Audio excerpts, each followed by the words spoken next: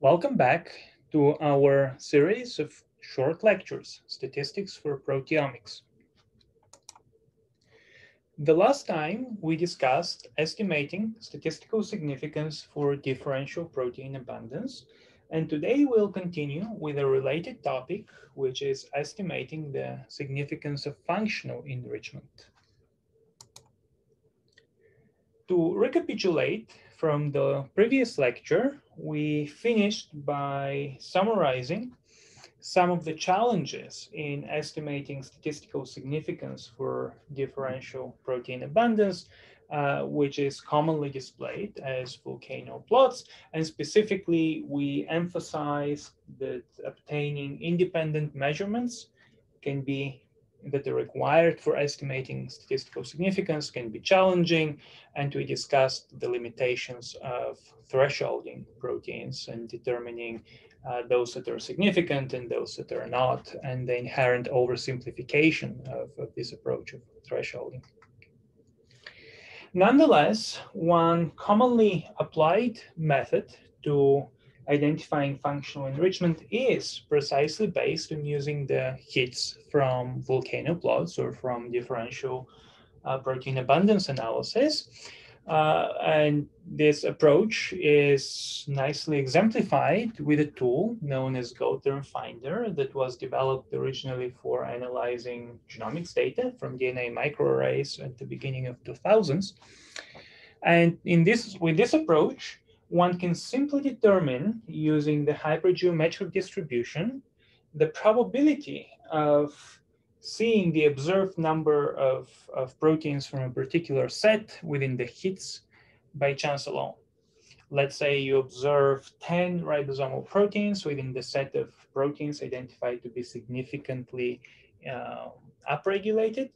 And given the total number of hits and using the hypergeometric distribution, you can compute the p-value for how significant that is.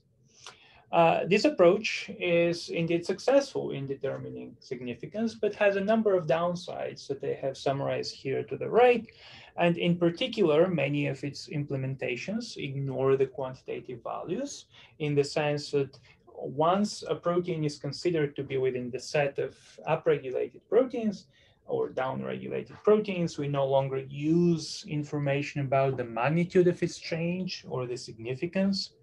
Uh, similarly, this analysis just estimates statistical significance for the enrichment, but usually doesn't estimate the effect size, meaning by how much, how overexpressed or uh, are the, the proteins or to what extent they're downregulated.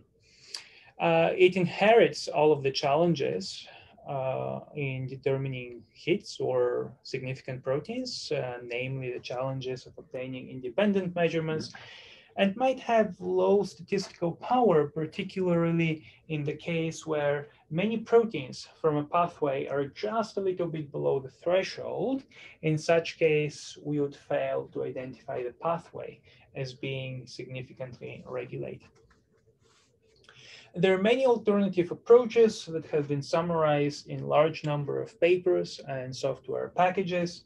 Um, here I have uh, provided example of one very well-known and influential paper from mid-2000s, uh, gene set enrichment analysis that implements an alternative approach to, to performing this analysis.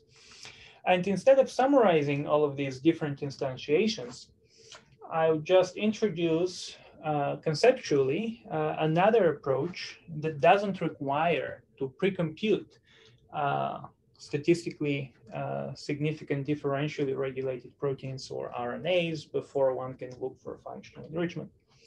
And the idea is very, very similar, is very, very simple. The idea is simply to compare the distribution of quantitative values for all proteins, as here shown in the blood distribution, to the distribution of quantitative values for a particular set of proteins, for example, for ribosomal proteins, as shown in the blue distribution, or for proteins functioning in autophagy, as shown with the red distribution.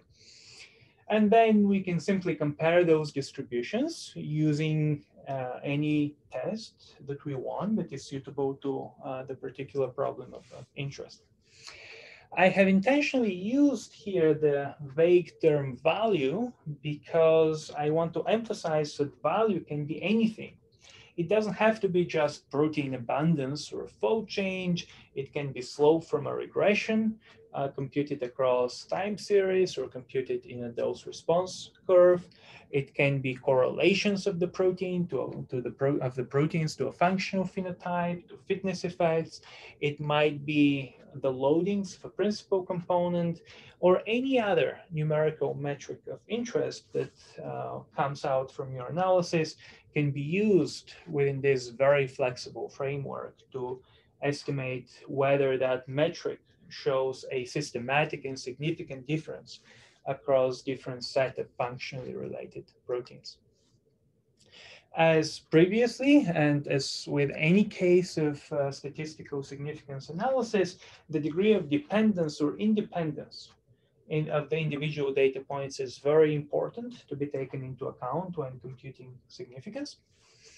Uh, and in this case, we're looking for systematic errors uh, that might be correlated, that might be dependent between different proteins that are part of a, of a functionally coherent set of proteins.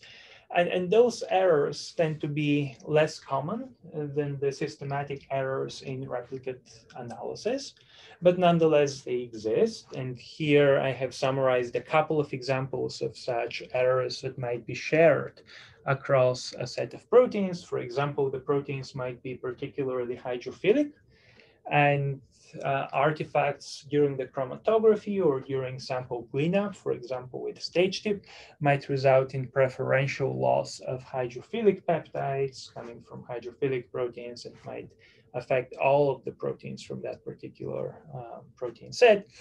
Uh, similarly, there might be a bias in extracting organelles or protein complexes from the cell, which would appear as a shared um, error for all proteins in, in the set of proteins and, and, uh, and therefore will render individual data points less independent and less suitable for uh, the statistical analysis that we need.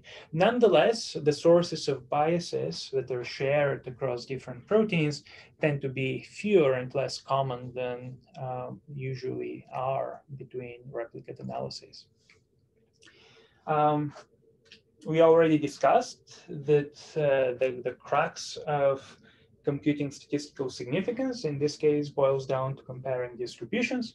The distributions can be compared either by using parametric or non-parametric tests. Uh, parametric tests include t-test and ANOVA. They tend to be more powerful, but also make more assumptions about the data that may not be fulfilled. One of the advantages of gene set enrichment analysis, protein set enrichment analysis as compared to just differential protein abundance analysis is that there tend to be more data points because there are more proteins within a within a functional set oftentimes, and therefore we can use more readily non-parametric tests and have sufficient data to compensate for their lower statistical power because these methods that make fewer assumptions generally require more data and are therefore therefore tend to be more applicable with protein site enrichment analysis than they